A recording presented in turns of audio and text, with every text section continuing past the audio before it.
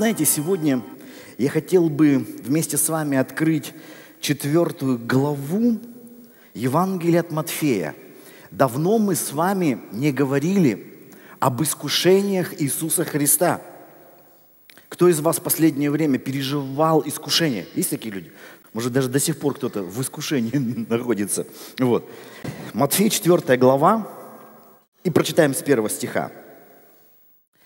Тогда Иисус возведен был духом в пустыню для искушения от дьявола. И постившись сорок дней и сорок ночей, напоследок взалкал. И приступил к нему искуситель и сказал, если ты сын Божий, скажи, чтобы камни сии сделались хлебами. Он же сказал ему в ответ, написано, не хлебом одним будет жить человек, но всяким словом, исходящим из уст Божьих. Потом берет его дьявол в святой город и поставляет его на крыле храма и говорит ему, если ты сын Божий, бросься вниз, ибо написано, ангелам своим заповедают о тебе, на руках понесут тебя, да не приткнешься о камень ногою твоею. Иисус сказал, написано также, не искушай Господа Бога твоего. Опять берет его дьявол на весьма высокую гору и показывает ему все царства мира и славу их. Не говорит ему, все это дам тебе, если пав, поклонишься мне. Тогда Иисус говорит ему, отойди от меня, сатана, ибо написано, Господу Богу твоему поклоняйся и Ему одному служи. Тогда оставляет его дьявол, и все ангелы приступили и служили ему. Вы знаете, вот есть такие произведения литературные, которые, когда ты вот прочитаешь, к ним периодически вот все равно возвращаешься. Есть такие произведения, которые вот после первого прочтения, они словно продолжают следовать за тобой всю жизнь. Есть вот такие произведения, да? Вот бывают такие произведения. Я, конечно, имею в виду не то, что там, скажешь, я прочитал сказку «Колобок», и потом детям читал, и внукам читал. Вот всю жизнь со мной «Колобок» там, или «Курочка ряба». Вот. Э, и есть известные произведения, которые просто мы их знаем, но вот не скажем, что они как-то сильно отложили отпечаток в нашей душе. Вот.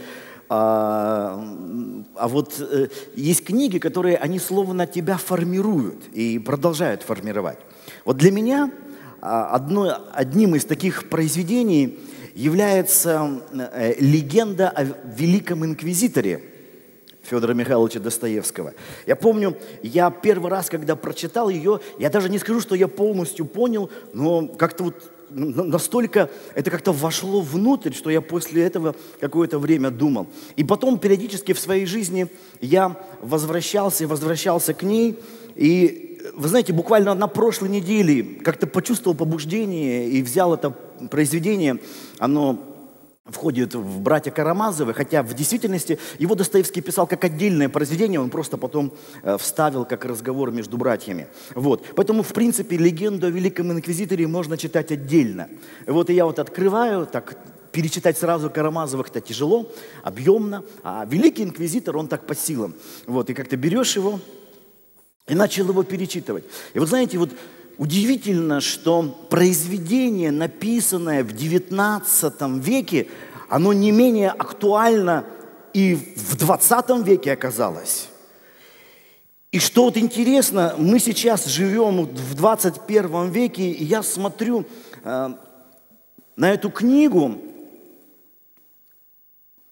а оно сегодня, наверное, ну ничуть не меньше, чем даже в 20 веке актуально – и поскольку мы все живем в России, в нашей стране в том числе, э, Великий Инквизитор – это в принципе истолкование Достоевским, ну вот его, как вот проповедник берет местописание и истолковывает.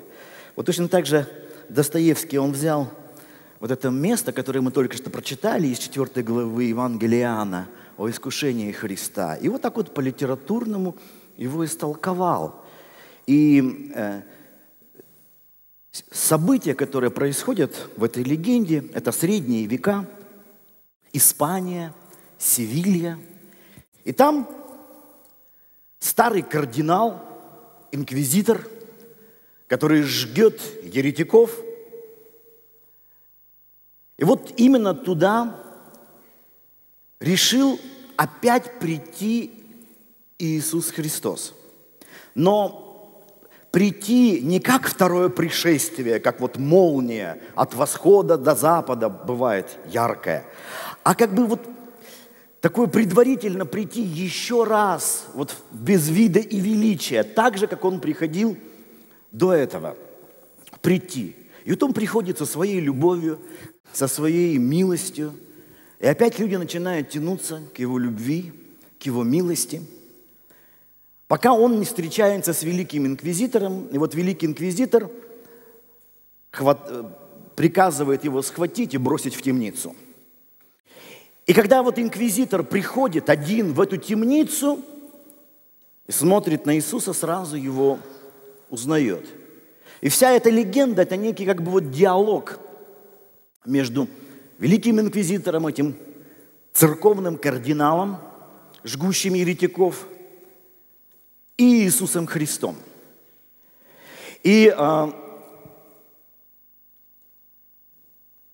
кардинал говорит ему, вот Иисус, ты же ведь слышал вот эти три великих вопроса, которые страшный дух задал тебе в пустыне, искушая тебя. И он говорит, ну вот посмотри на то, что происходит – с того момента, кто оказался прав? Ты или тот, кто тебе задавал вопросы? И инквизитор говорит, нет, Иисус, не ты оказался прав. Когда мы смотрим на историю человечества, то в этой истории человечества как раз и воплотились эти три великих вопроса, которые тебе были заданы. И ты ответил на них по-своему. Но история человечества пошла не как ты ответил. И он говорит, в этих трех вопросах, которые тебе этот дух задал в пустыне, был отображен весь образ, вот этот противоречивый образ человечества. И вот самый первый вопрос, когда, искушая, этот нечистый дух спрашивал Иисуса, ну, голоден же, так прикажи, чтобы камни сделались хлебами. И вот послушайте, маленькая цитата – вот инквизитор говорит Иисусу, видишь ли сии камни, обрати их в хлебы, и за тобою побежит человечество, как стадо, благодарное и послушное. Но ты не захотел лишить человечества свободы и отверг предложение. Ибо какая же свобода, если послушание куплено хлебами? И инквизитор говорит, вот ты предложил людям свободу, а кому эта свобода оказалась нужна? Если людям предложат хлеб, то есть земные блага, благополучие, люди отдадут свою свободу ради этих благ. Люди предпочтут не пользоваться свободой, лишь бы хорошо и преуспевающе жить на этой земле. Это как в наших русских народных сказках, когда э, к бабе Яге приходит в ее избушку добрый молодец, да, и бабушка Яга там что-то начинает с ним беседы вести. Что молодец говорит? Говорит, э, говорит, подожди, сначала меня накорми, напои, баньку растопи, а потом уже расспрашивай, да? То есть вот это, это первое, вот это первое. Накорми, напои, а уже потом. Вы знаете, в, в, этих, в этих вопросах не просто история человечества отобразилась. И я бы добавил, что в этом отобразилась в том числе и история христианской церкви. Ведь не секрет, когда мы хотим э, то, что мы называем евангелизировать, то есть приводить людей к Богу, э, очень часто и больше всего э, мы ставим акцент на благе, на благах. Тебе плохо? Плохо, да? Там в семье проблемы, проблемы. Со здоровьем проблемы, проблемы. С работой проблемы, о, вообще сейчас кризис, большие проблемы. да к тебе Бог нужен, мы говорим ему, да? То есть как в этой сказке, давай приходи, мы тебя накормим, напоим, баньку тебе растопим, тебе хорошо будет. И потом уже, если вдруг захочешь, то ты можешь уже и Бога познать. Как бы и, и, и, Бога, и Бога пережить. И вы знаете, я как-то вот в последнее время когда часто смотрю проповеди, сейчас благодаря интернету можно смотреть проповеди, у меня такое чувство складывается, что чуть ли не большая часть проповедей, не большая часть проповедников посвящены тому, что вот, вот собираются люди. У меня такое, знаете, ощущение, что церковь – это место для неудачников. Вот собирается, у них что-то ничего не получилось. Вот с работы у него не вышло ничего, семья у него развалилась, вот все у него в жизни плохо. Что ему делать? Прийти в церковь. Почему? А здесь мы ему скажем, тебя плохо, ничего, будет хорошо. Все камни в твоей жизни станут хлебом. Все проблемы будут отвечены, тебе будет хорошо, что там тебе не удавалось, тебе здесь удастся. Ты такой думаешь, о, здорово, здорово, здорово. Что-то я в правильное место пришел. Сейчас мне будет все хорошо.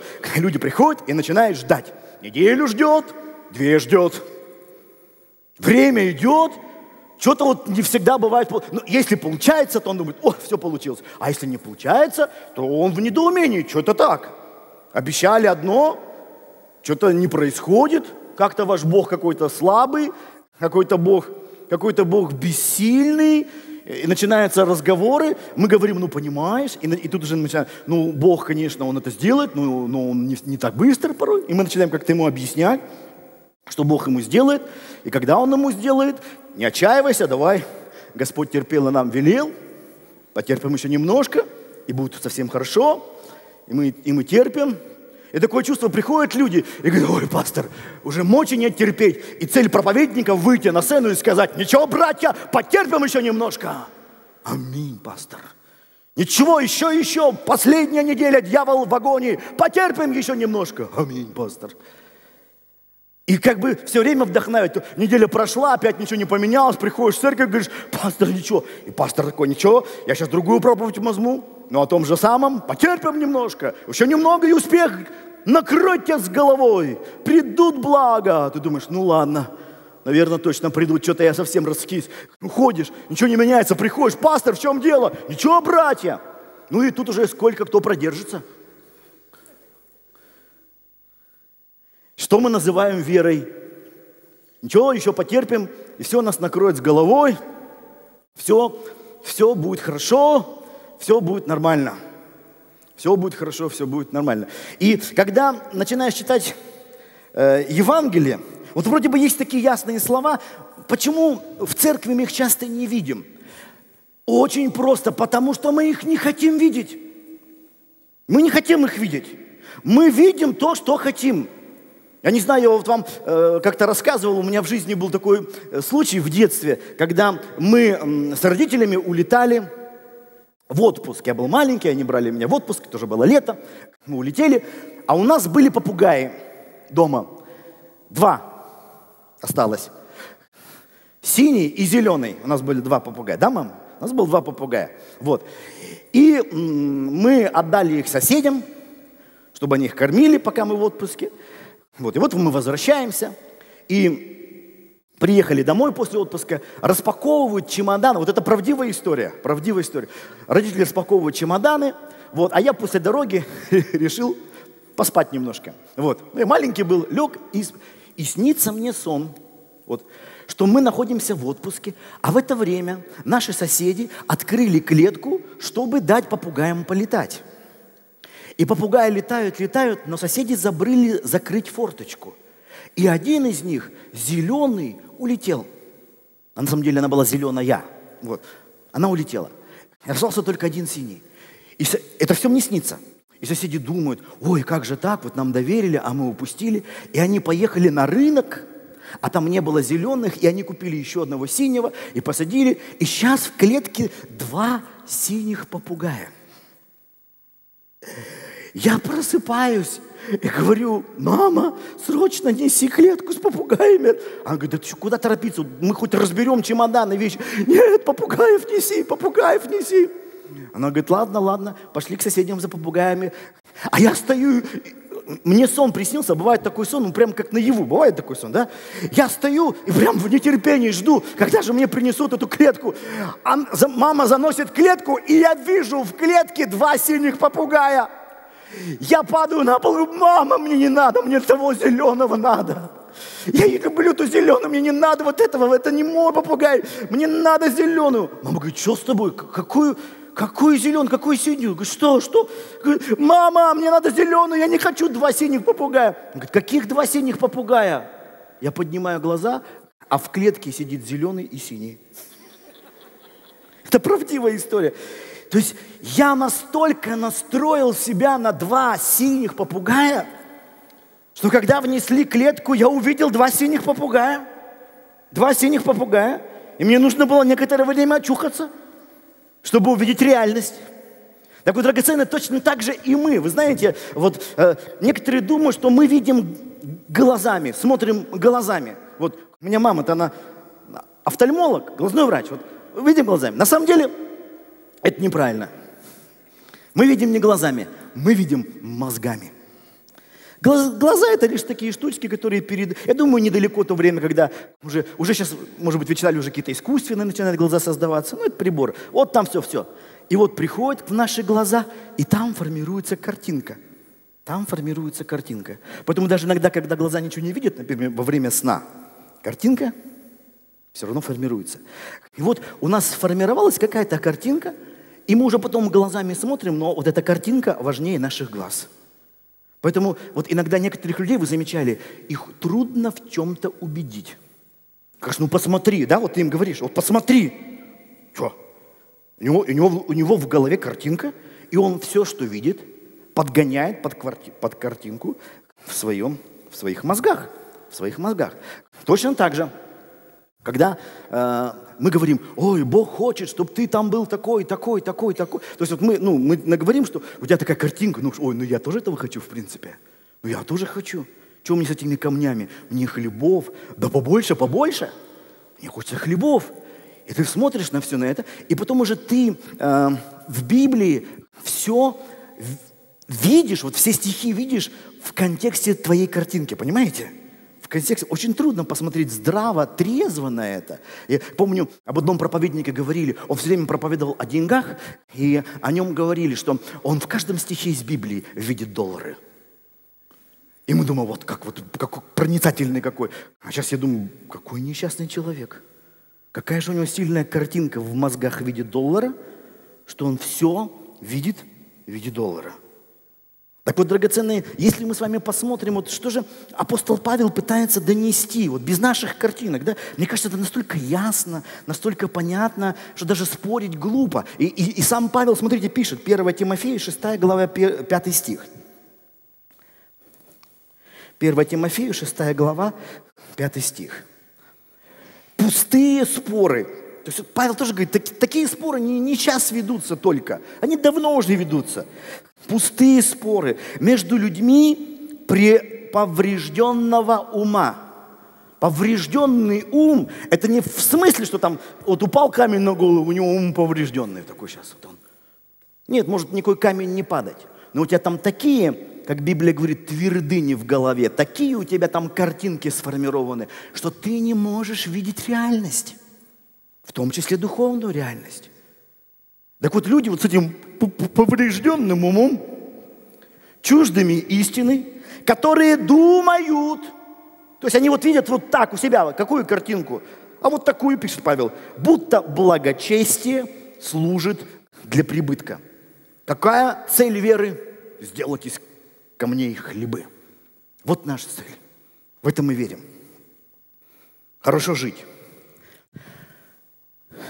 И когда сейчас такие часто учения очень популярны, Павел пишет, удаляйся от таких. Не посещай эти семинары, не слушай такие проповеди.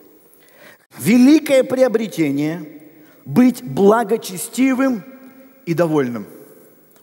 То есть хочешь приобрести? Говорю, да, да, хочу, пастор, приобрести хочу. Будь благочестивым и довольным. Вот что надо приобретать. Благочестивым и довольным.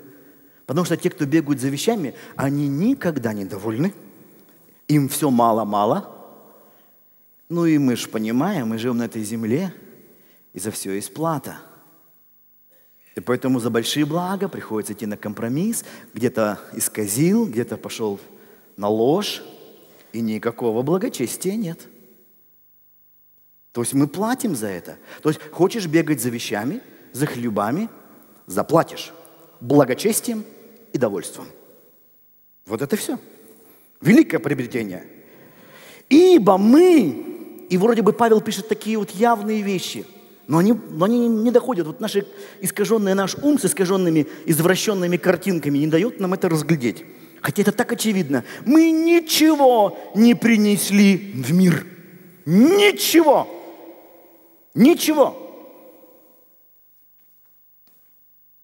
Кто-нибудь из вас родился, там, родился уже с кошельком такой. Или в шапочке. Или в красивой одежде. Или с деньгами в руках. Кто-нибудь родился? Мы ничего не принесли. То есть ты, драгоценный мой, ничего сюда не принес. Вообще ничего. Ты вошел в то, что Бог уже создал. Бог и тебя-то на самом деле тоже создал. Ничего не принес сюда. Вот ничего, пришел и все. Если бы это было так важно, Бог бы нас оснастил тут. Кошелек, там одежда какая-то, машина там. Нет, ничего. Ничего. Потому что самое главное, что в этот мир пришло, что Бог желал видеть, это ты, понимаете? Это ты. Когда у нас последний ребенок рождался, я был на родах, и ты знаешь, я был такой, одно было из самых сильных потрясений в моей жизни – присутствие на родах.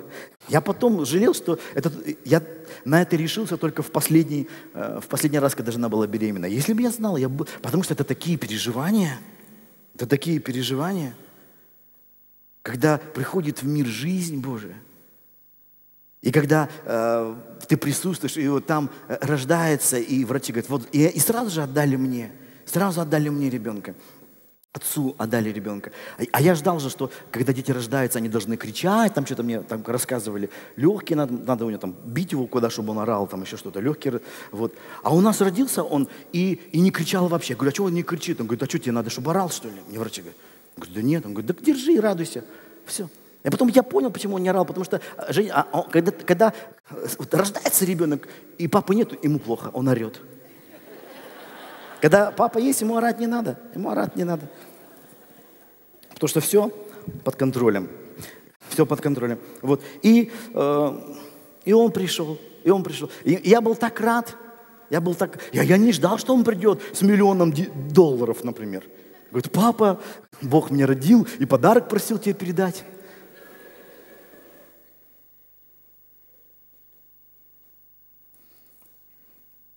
Поэтому мы ничего не принесли в мир. Но это еще не все. Павел продолжает. Явно, что ничего не можем и вынести из него. То есть ты ничего не вынесешь. То есть ты, вот ты как пришел, так уйдешь. Ничего не будет. Конечно, э, люди, э, э, люди пытаются как-то что-то в, в свой, даже есть такие услуги, там в гроб и телефон кладут, там еще что-то, дорогие вещи, ордена дают чтобы ты пришел такой на небо в орденах весь. И Бог скажет, герой, герой пришел Советского Союза. И, и ничего не унесешь, ничего. Я даже как-то на собрании говорил, что одна, э, в, э, когда умирала, умерла одна фотомодель в Штатах, то в завещании прочитали, что она требовала ее похоронить в своем серебристом Феррари. И там гроб такой сделали. Феррари, она села – Куда она там поедет, я не знаю вообще. Ну вот так вот ей хотелось. Она не могла себе почувствовать, что она там без Феррари будет. Думаю, для нее сюрприз. Она ушла в тот свет, раз, а Феррари нет. Феррари нет. Почему? Да потому что мы ничего не унесем. И вот смотри, вот между этими двумя ничего мы сейчас находимся. Мы ничего не принесли, мы ничего не унесем. Не кажется ли вам, что это понимание изменяет наше отношение к тому, чего, что мы временно здесь имеем? Не кажется ли вам, что не нужно ради этого жить? Этого чего? Потому что Бог нас привел сюда ради большего. И Иисус сказал об этом большем. Не хлебом одним будет жив человек. Да, мы его здесь едим. Но жить ради хлеба, ради блага, ради комфорта, ради удобства – это вообще не жизнь.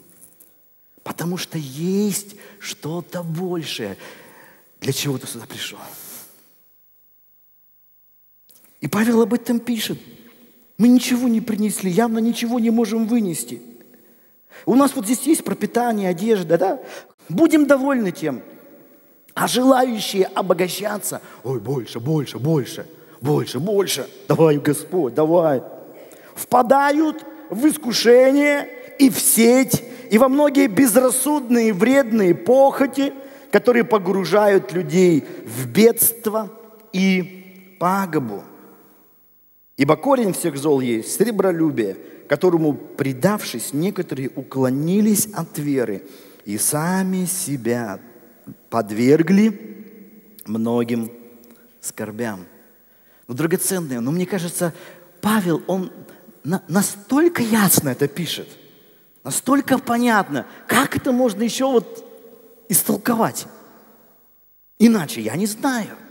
Я не знаю. И Павел это пишет не для того, чтобы как-то, знаете, нас расстроить. Он говорит, понимаете, что вы думаете, что вот, там вот вы пришли, там вас Бог будет... Ничего вас Бог не будет благословлять. Даже не мечтай. Вот ты ничего не принес, ничего не унесешь. Все, жизнь бессмысленна. Нет. Павел стремился объяснить верующим, что мы живем для чего-то большего – то, о чем говорил Иисус. Ищите прежде всего Царство Божие, правда Его. Прежде. Не то, что вот сначала накорми, напои, а уж потом. Я уже такой сытый, довольный. После баньки, перед сном, порассуждаю о Царстве Божьем. Нет. Ищи прежде всего. Ищи прежде всего. И вот зацикленность верующих, зацикленность церкви на материальных благах приводит к тому, что ради этого они готовы продавать все, продавать свободу свою, продавать истину, идти на компромиссы. И великий инквизитор говорит Иисусу, ну что, Иисус, ты-то отверг это предложение злого духа – а твои последователи? Да большая часть из них нет, не отвергает. Поэтому кто оказался прав? Не ты, Иисус, не ты. Дальше. Великий инквизитор переходит ко второму вопросу.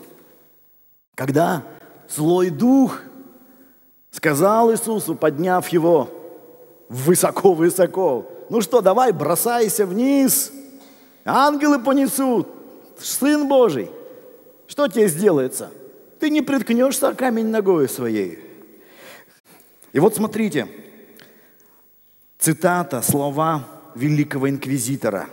Лишь человек отвергнет чудо, тотчас отвергнет и Бога. Ибо человек ищет не столько Бога, сколько чудес. И так как человек оставаться без чуда не в силах, то насоздает себе новых чудес, уже собственных, и поклониться уже знахарскому чуду, бабьему колдовству, хотя бы он сто раз был бунтовщиком, еретиком и безбожником. И опять великий инквизитор упрягает, упрекает Иисуса. Что ж ты, Иисус, отверг-то чудо, а? Что ж ты отверг чудо? Чудо – это самое главное. Людям думаешь, что Бог нужен. Ха-ха. Им нужно чудо. А Бог лишь как создатель чудес. Бог лишь как средство. А цель чуда. И если не будет чуда, то и Бог такой людям не нужен без чудес. И что вот интересно, во многом часто атеистические идеи приходят, знаете, когда? Когда люди разочаровываются в сверхъестественных чудесах. О, да чудес нет. Так значит и Бога нет. Хотя сам по себе мир, он уже говорит весь о Господе как творение. Вы понимаете, не нужны чудеса, чтобы убедиться, что Бог есть. Павел говорит, само творение рассказывает нам о Творце. Я иногда удивляюсь, знаете, насколько Бог удивительный, вот насколько вот Он вездесущий, Он везде. Он спереди и сзади, Он слева и справа, Он сверху, Он снизу. Господь везде! Но Он сам себя так спрятал в себе самом, что мы смотрим, а где Бог, а где Бог, а где Бог. То есть ты смотришь, ты, ты никуда глаз не можешь поместить, чтобы там Бога не было. Но Он так себя в себе спрятал, что мы смотрим и не видим. И говорим, а чудеса? Где чудеса? Нам нужны чудеса. Нам главное чудеса. Конечно, мы знаем, Иисус совершал чудеса, но Иисус показывал нам, что не нужно Его в чудесах искать. Нет. В 24 главе Евангелия от Матфея он говорит, ибо восстанут, смотрите, 24 глава, 24 стих, ибо восстанут лжехристы и лжепророки – и дадут великие знамения и чудеса, чтобы прельстить, если возможно, и избранных. То есть, если мы ищем Бога в чудесах, то мы найдем антихриста, лжепророка и будем думать, что все Бог. Будем думать, что все это от Господа. А это не так. Поэтому Иисус и говорил, будут люди, которые придут ко мне и скажут, Господи, не от Твоего ли имени мы пророчествовали, чудеса творили. А Он что скажет? Отойдите от меня, я никогда не знал вас. Тоже драгоценное, чтобы не понять эти ясные слова Иисуса, нужно иметь искажение в разуме. Потому что очень часто верующие только и заняты, что погоней за чудесами, за чудесами. За... Там, где больше чудес, там больше Бога, а там чудеса. О, там, там Бог, там Господь. Поэтому великий-то инквизитор и говорит Иисусу, да, ты не стал делать чудо, нет, а людям чудо важнее. Они не пошли за тобой. Ты сказал, не искушай Господа Бога. А они начали. Кто оказался прав? Не ты, Иисус. Не ты оказался прав. Возникает вопрос, ну, а что ж тогда, мы не сможем Бога пережить? Дорогие, то, что не надо искать Бога в чудесах, не означает, что мы не можем Его пережить. Нам пережить Его мешает грех – Иисус и сказал, говорит, отойдите от меня, я никогда не знал вас. Почему вы делали беззаконие? Беззаконие. Что ж такое грех? Мне очень нравится, как э, один митрополит Антоний Сурожский дал такое определение. Послушайте, определение, что же такое грех? Грех – это потеря контакта с собственной глубиной. Господь не поместил свое царство в чудеса. Он поместил свое царство внутрь нас. И можно говорить, грех – это воровать, грех – это изменять жене. И все это правильно, но это не касается корня греха. Потому что когда Иисус рассматривал заповеди Ветхого Завета, Он не отрицал их, он просто показывал на корень. Написано «не прелюбодействуй». А я говорю вам, кто смотрит на женщину с вожделением, то есть грех начинается не, в, не на неверном ложе, грех начинается внутри. Вот где рождается вожделение. Написано, говорил Иисус, не убивай, а я говорю вам, всякий ненавидящий брата своего. И опять Иисус не отвергает заповеди. Он говорит, где же начинается грех? Где начинается убийство? Внутри, не в ноже, внутри нас начинается. Точно так же, видите, грех – это потеря контакта с собственной глубиной, то есть с тем царством, которое внутри тебя – и если ты просто пытаешься не грешить, исполняя правила, исполняя такие постановления, то тебе не нужен Новый Завет. Тебе было бы достаточно Ветхого Завета, где даны все заповеди. Зачем тебе что-то? Ну вот тебе дано, давай исполняй. И Иисус-то пришел, чтобы взять грехи наши на себя и открыть нам доступ во святое святых небес. Что это означает? Где эти небеса? Где? Да вот же опять, внутри тебя они. Нам не нужно никуда идти к алтарям, к... Э, некоторые говорят, ой, пастор, мы идем к алтарю. Это не алтарь, это сцена. Это сцена для проповеди. И то, что кто-то называет это алтарем, и даже я смотрю, среди протестантских церквей есть такое, там кто-то ковчег устанавливает, кто-то еще что-то устанавливает – на сцене-то красиво что-то. Сцена – это сцена, платформа для проповеди. Здесь нет ничего святого. И когда я стою здесь на сцене, и ты там сидишь, может быть, там на последних рядах, то место ничуть не менее свято, чем это. Ничуть не менее свято. Потому что алтарь не здесь, не там, не в Иерусалиме и не на горе сей – а в духе и в истине, внутри нас. И когда ты теряешь контакт с этой глубиной, вот тогда рождается грех. Тогда рождается грех. Я помню одну древнюю притчу, когда э,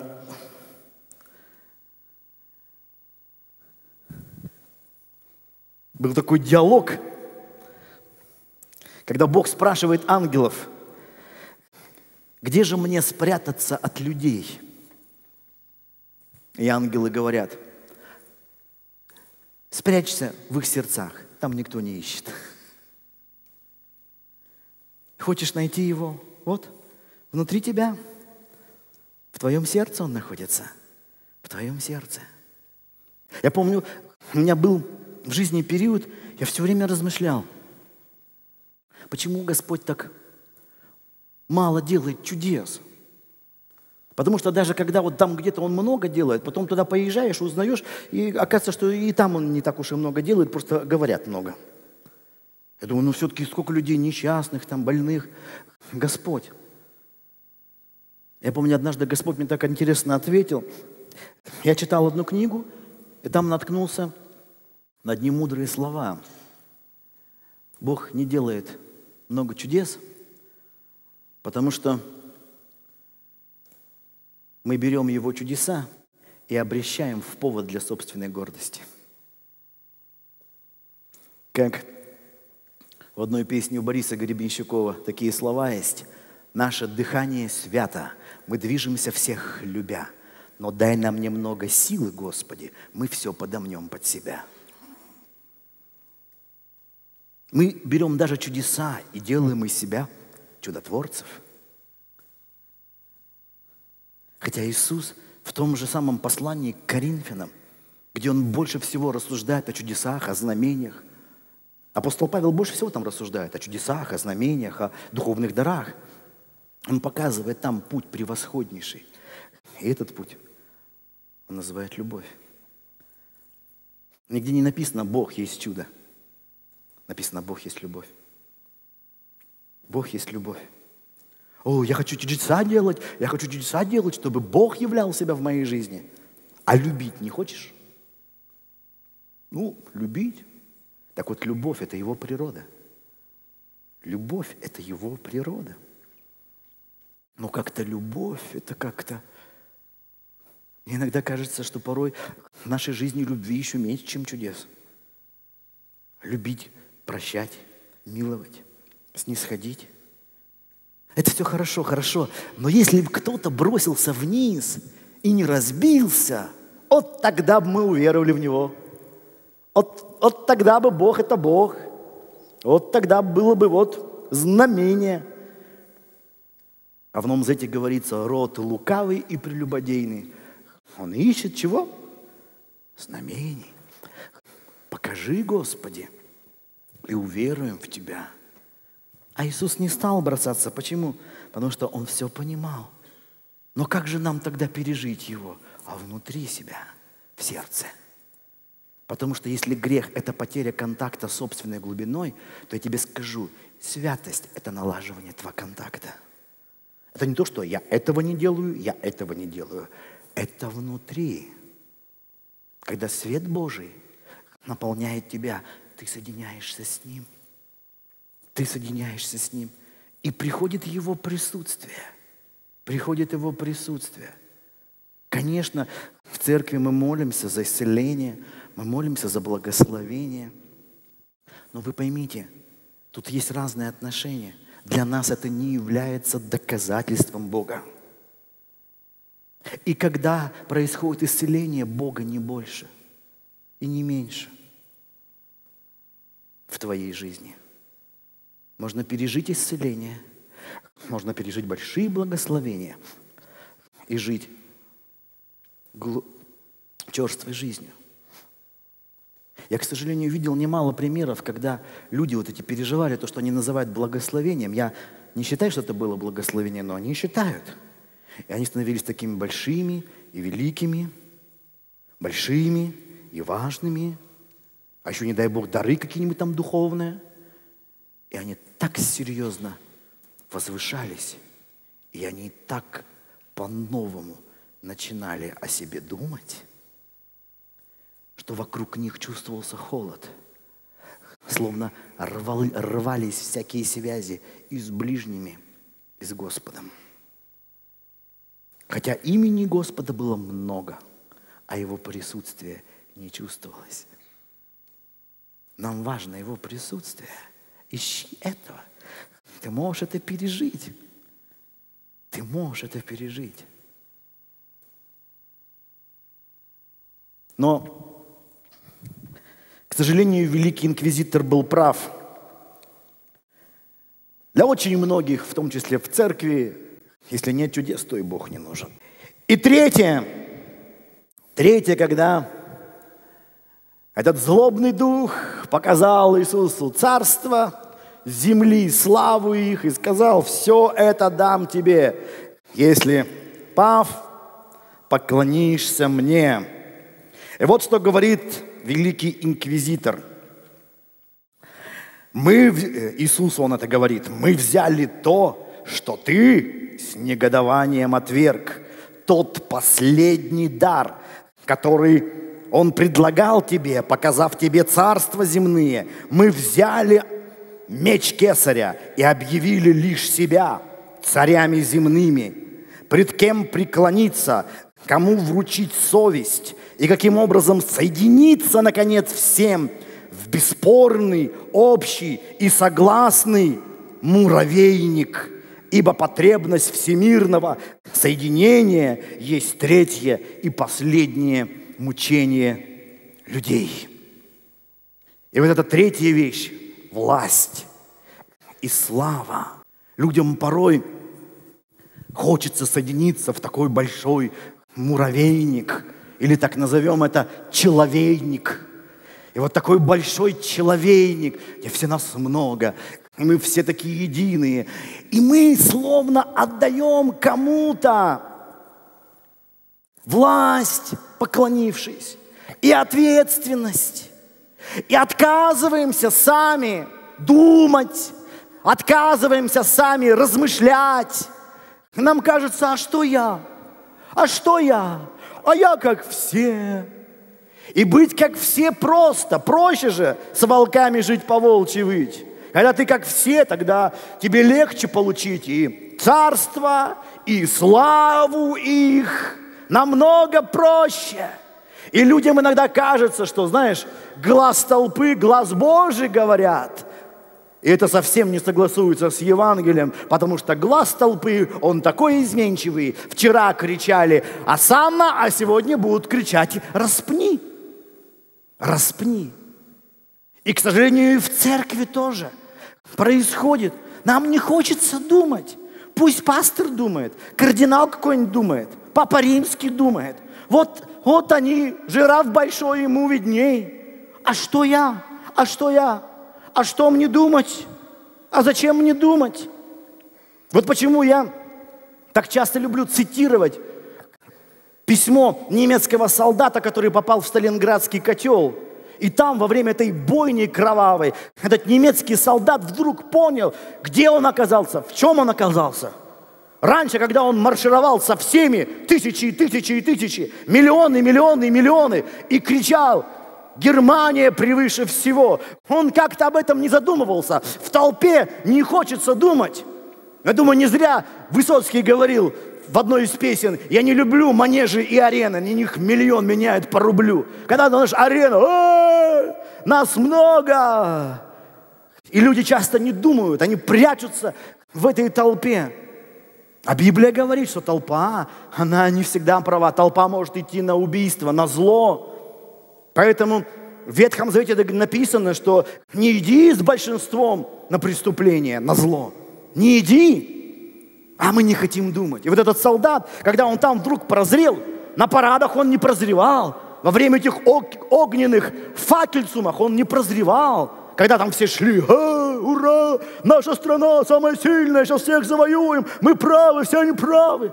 Вот это желание быть частью вот этого моря большого – и потом, когда в этой Сталинградской битве он писал своей жене,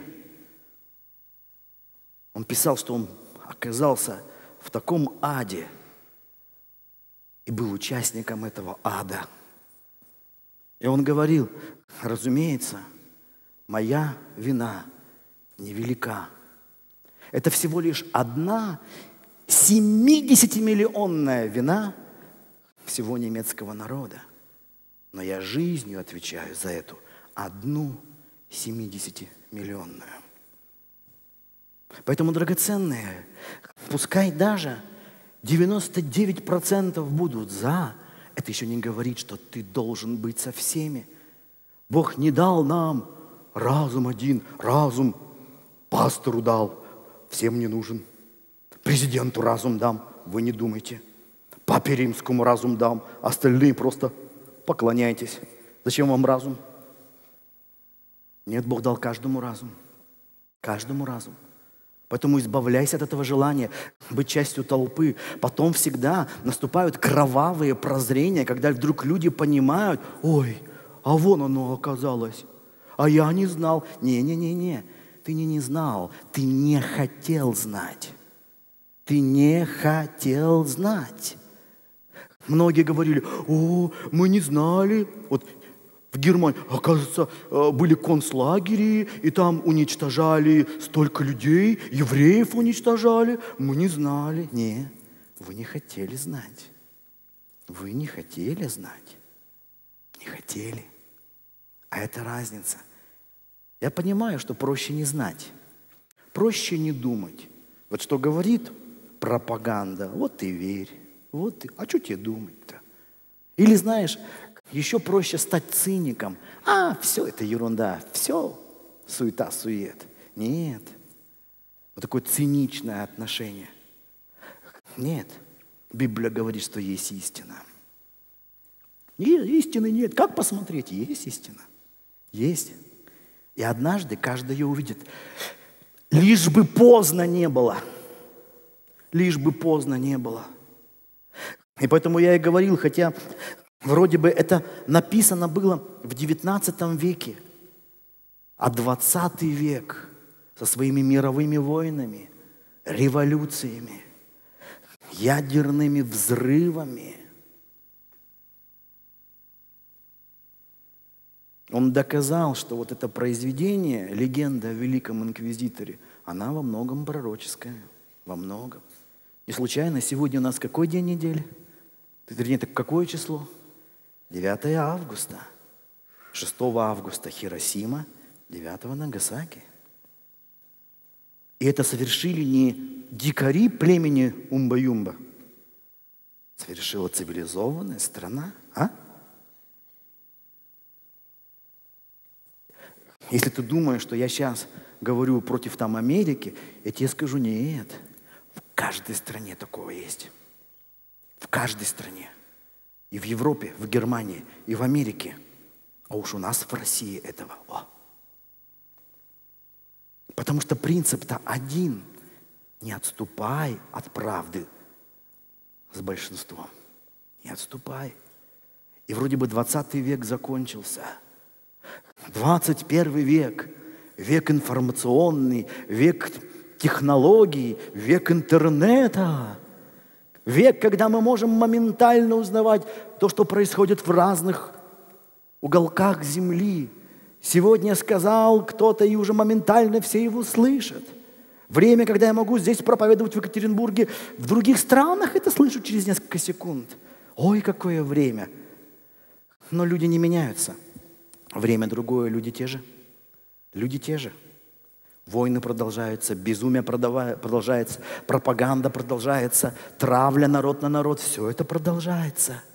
Все это продолжается. И знаете, самое стыдное для нас, что очень часто церковь в этой агрессии, в этом безумии принимала и принимает очень активное участие. Вот об этом говорил великий инквизитор. Он говорил, да верующие такие же, тоже полны этого зла, полны этого безумия и участвуют в том же самом.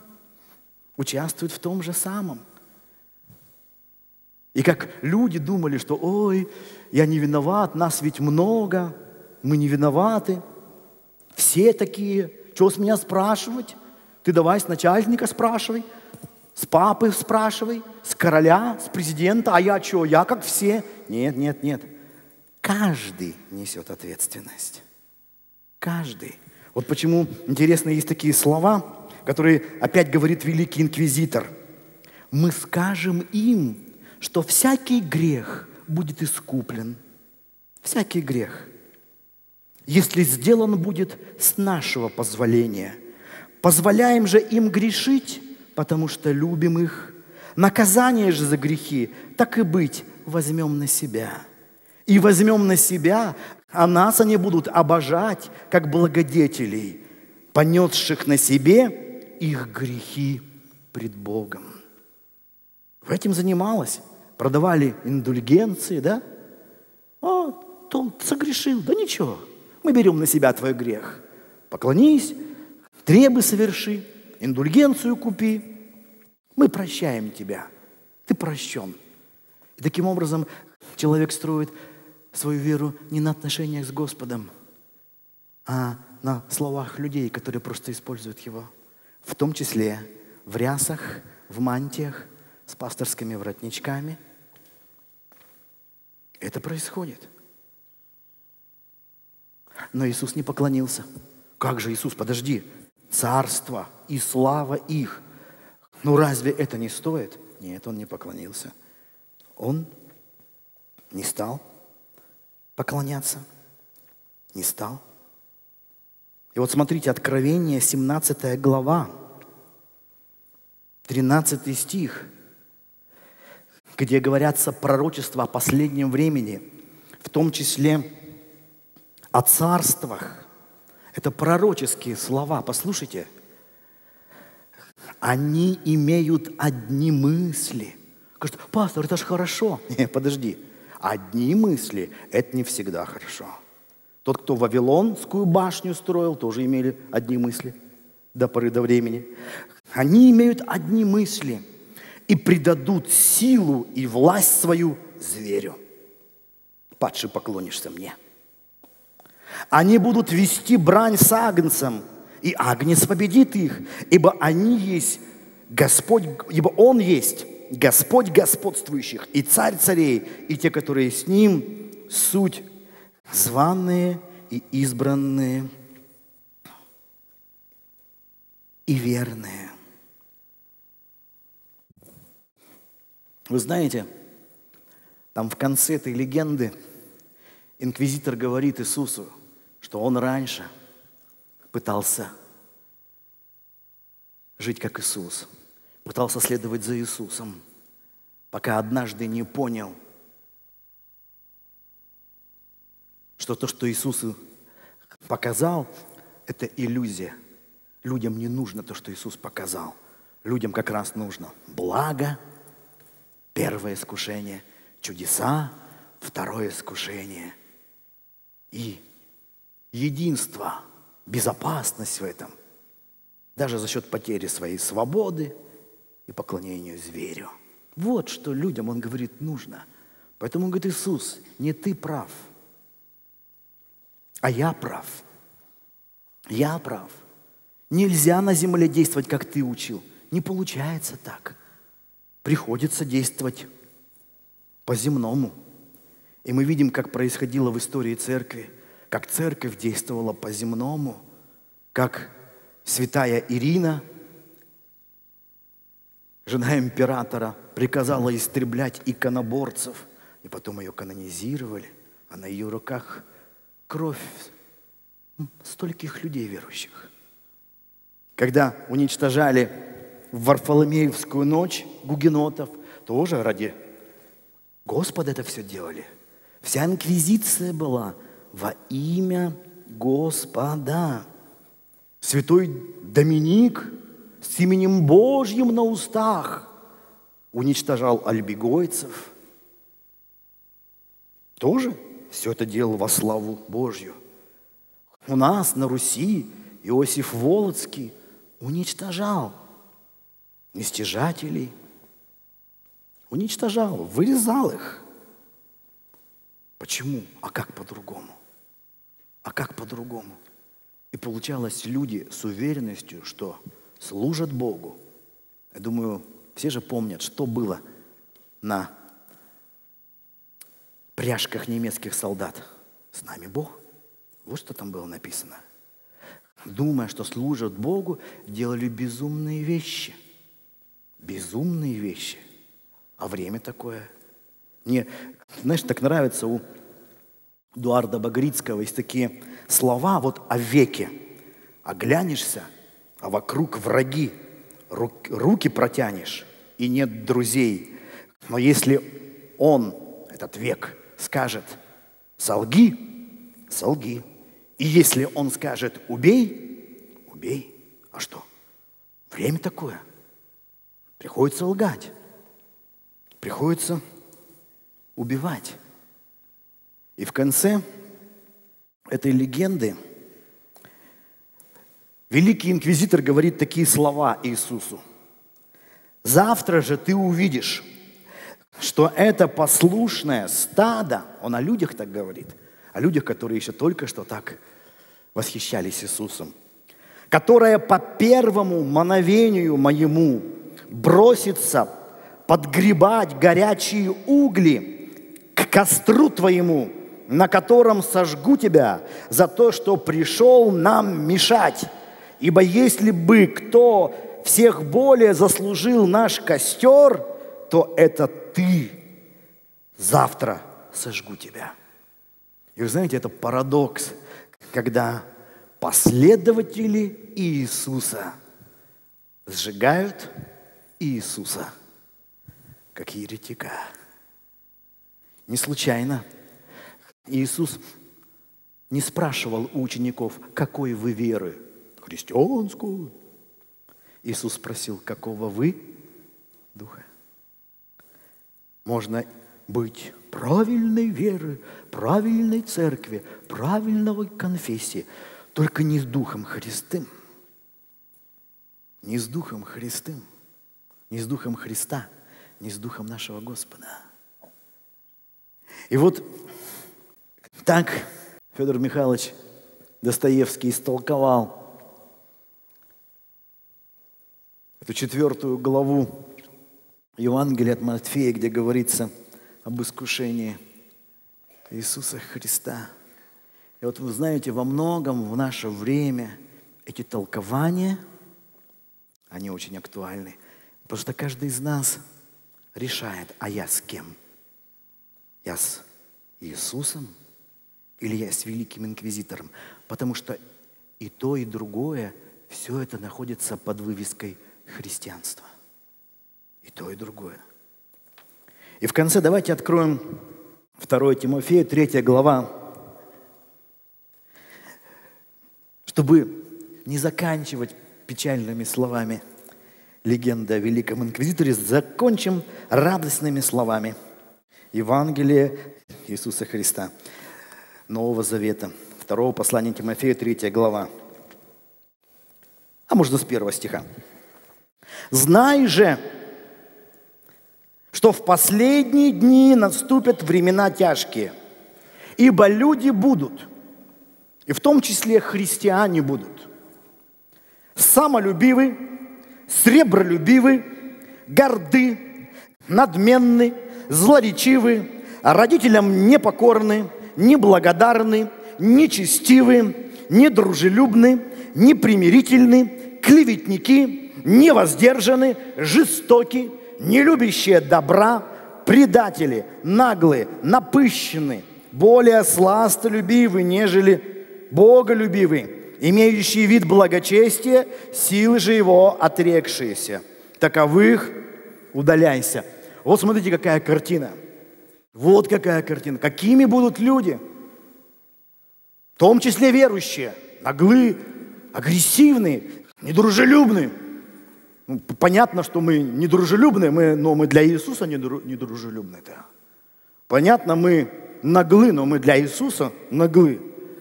Понятно, мы злы, но мы ради Иисуса все порвем здесь. Так мы сильно Его любим. Жестоки, но мы же для Иисуса. И мы как бы, знаете, все прячем это для Иисуса. Поэтому Павел-то и говорит, а где же христианство это? А в виде, вид-то благочестия, потому что придем все такие благочестивые, прям такие смиренные, но без всякой силы, без всякой силы. И десятый стих здесь же, смотрите. «А ты последовал мне в учении, житии, расположении, вере, великодушии, любви, терпении, гонениях, страданиях, постигших меня в Антиохии, Иконии, Листрах, Каковые гонения я перенес, и от всех избавил меня Господь. Да и все, желающие жить благочестиво во Христе Иисусе, будут гонимы. Злые же люди и обманщики будут преуспевать во зле, вводя в заблуждение и заблуждаясь. И вот, вы знаете, вот в этой же главе, условно, вот это два пути. Путь Христа и путь Великого Инквизитора. Первый путь вот этих первых стихах – путь великого инквизитора. Это непримирение, неблагодарность, жестокость, напыщенность, сребролюбие, надменность, гордость. Опять-таки все это можно одеть в благочестивые одежды. О, это все так можно представить благочестиво. Все с крестами, все вот со словами из Библии. Но это все лишь фиговые листочки. За этим грех стоит. За этим стоит грех. И что интересно, как великий инквизитор сказал, как он к этому пришел, знаете, как галаты, начавшие духом, закончили плотью. Ой, я вначале думал, а понял теперь, с людьми нельзя по-другому. А, а Павел говорит, можно. Есть другой путь. В вере, в великодушии, в любви, в терпениях. Ну подожди, подожди. Это невыгодно. За это будут гнать. Павел говорит, да, все желающие жить благочестиво будут гонимы. Да. Поэтому проще иметь вид благочестия, чем жить благочестиво. За вид благочестия никто тебя не будет гнать. Мир будет чувствовать с тобой родство, единство. Да он такой же злой, он такой же жестокий, он такой же сластолюбивый. Дорогие, разве сегодня неверующие люди не говорят, говорят, что вы верующие прикидываетесь, вы такие же злые, вы такие же жестокие. Они смотрят на жизнь современного христианства и говорят, как вас Иисус поменял, вы такие же. Разве нет? Да, такие же. Потому что только вид благочестия, а неверующим смешно. Ну что это вид благочестия? Суть-то та же самая. Но Павел говорит, есть другая суть. И ради этого Иисус прошел через все искушения, чтобы показать нам суть. Есть вещи важнее хлеба. Есть вещи важнее чудес. Есть важнее все царств земных вещей и всей славы их, понимаете? Вот что показал Иисус. И поэтому эта глава заканчивается 17 стихом. «Да будет совершен Божий человек ко всякому доброму делу приготовлен». Какие бы ни были испытания, искушения, не поддавайся им, не поддавайся соблазну великого инквизитора. Следуй за Иисусом, даже если кажется, что сейчас это невыгодно. Будь готов ко всякому доброму делу. Это настоящая доброта, идущая из сердца Господа.